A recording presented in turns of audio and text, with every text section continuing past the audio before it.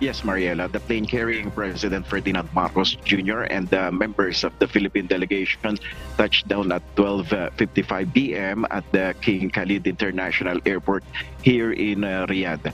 The president arrived here in Saudi Arabia to attend the first ASEAN Gulf Cooperation Council Summit, where major geopolitical developments, security, economic progress, and socio-cultural collaboration are high on the agenda.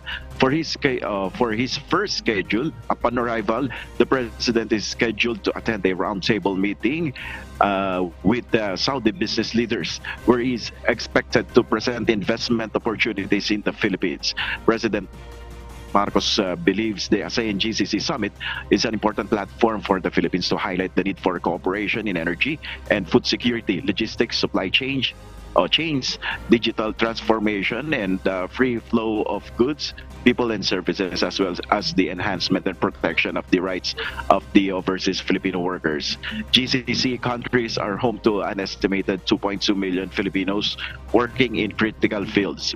President Marcos also promised to emphasize during the summit the country's advocacy for a rules-based international order to uh, uh, stability in uh, both regions. And that is our update here in uh, Saudi Riyadh. Back to you.